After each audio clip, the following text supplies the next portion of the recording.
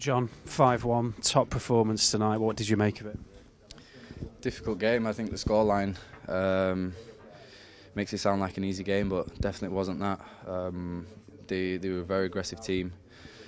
Um, it's the first time that, that I've played against them, watched them um, all this week leading up to the game tonight, and it was um, not a surprise because obviously we did our homework, but it was, um, I suppose, a, a, big challenge for us today. You know, very physical, um, tall players put a lot of uh, balls in behind and, and, and a threat set, set pieces, which you know we're, we're, not the tallest team, so we had to uh, hold a nerve in, in that respect. But um, we we persisted with everything tonight and um, played quick. Had to change the system. Got a crucial goal um, before half time, and I think that's what set us up for for the, um, for the win really.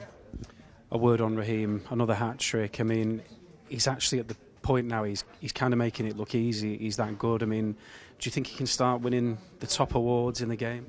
I want him to. I'm I'm a big big Sterling fan, so it's um, you know it's great to play with him um, and see him getting all the achievements that he deserves. In my opinion, um, I want to see him up there you know pushing to, to win things and, and rightly so. I think his his performances and his goals and and how he helps the team. I think that's um, there's some things that that, that go and recognise from from the outside. Um, his willingness to to do the dirty things as well. Um, one popped into my, into mind from from his Crystal Palace away where he's um, a ball's got in behind and they look like they're on the break. Raheem sprinted back and, and put in a crucial tackle.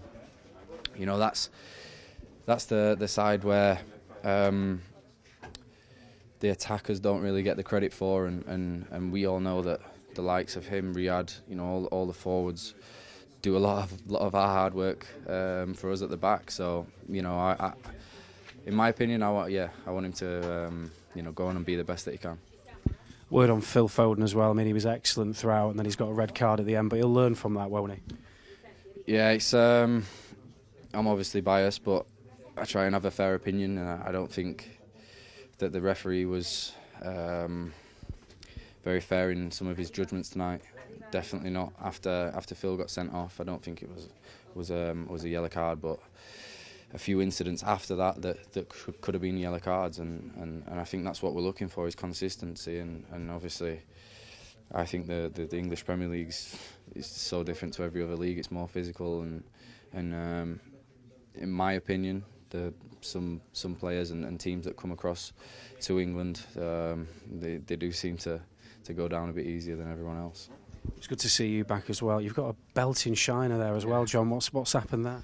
Um, I went up for a ball last uh, last few minutes against Crystal Palace and yeah, caught a nasty elbow in my eye and I didn't think it would come out like this. To be fair, it was um, just a bit of bit of swelling at the start, a bit of a, a cut. Uh, woke up the next day, nice black eye. Well played, John. Cheers. Thanks a lot. Thanks a lot. Cheers, guys. See you, mate.